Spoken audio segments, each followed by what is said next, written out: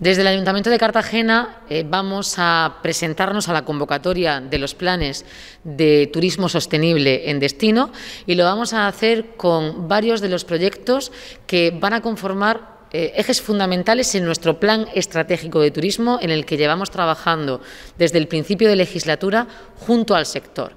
Eh, tenemos una oportunidad única en esta convocatoria para optar a 5 millones de euros de fondos europeos para mejorar la eficiencia energética, eh, la sostenibilidad las aplicaciones inteligentes, en materia también de instalaciones e infraestructuras, equipamientos turísticos. Y lo vamos a hacer con proyectos emblemáticos, tanto de nuestra ciudad, en, el centro histórico de la ciudad, como en el litoral o en el campo de Cartagena. Proyectos emblemáticos como, por ejemplo, recuperar la batería de San Leandro, que es de titularidad municipal y que eh, puede ser precisamente la batería que inicie otras actuaciones de recuperación en el sistema defensivo que tenemos en nuestro municipio y aprovecharlo desde el punto de vista turístico para mejorar la calidad de nuestro turismo y también afianzar otro tipo de productos para diversificar y para desestacionalizar nuestro turismo. También proyectos como el del Parque Torres,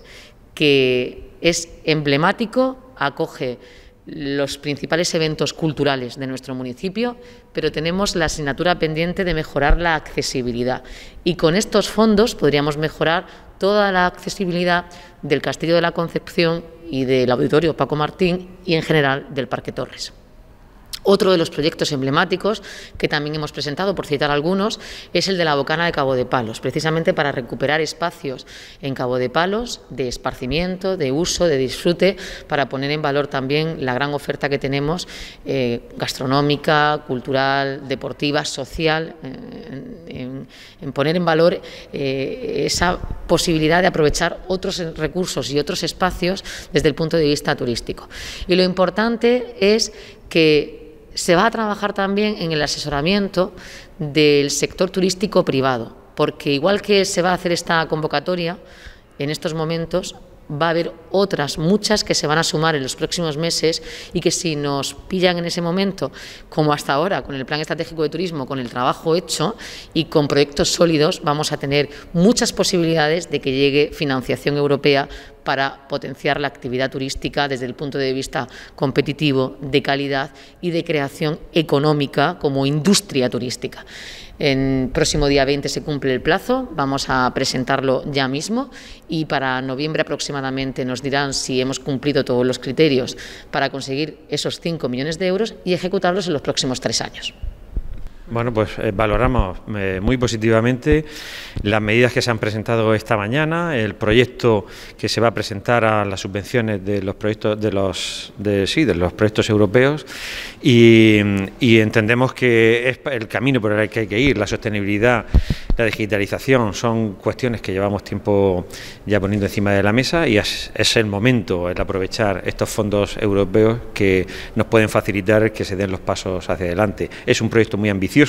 puesto que engloba distintas áreas eh, de lo que se refiere el, patrimonio turístico de la, de la ciudad de Cartagena y creemos que van por el, por el buen camino y además las expectativas que se generan a partir de la puesta en marcha de estos proyectos y los pasos que tienen que dar los, las empresas y los posibles proyectos que vengan en el futuro, que ya están anunciados, pues creo que va a hacer eh, de Cartagena un, un entorno y un destino turístico de primer nivel.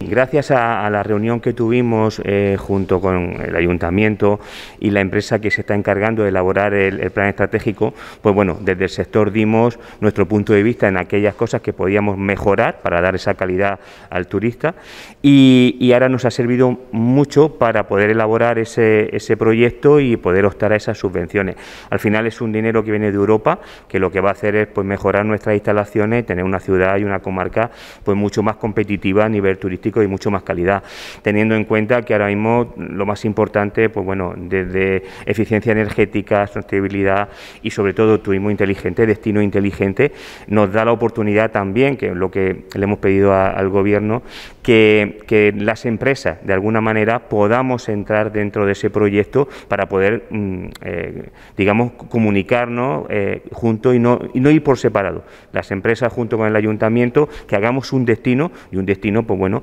sostenible, inteligente, para ofrecer los mejores servicios a nuestros turistas.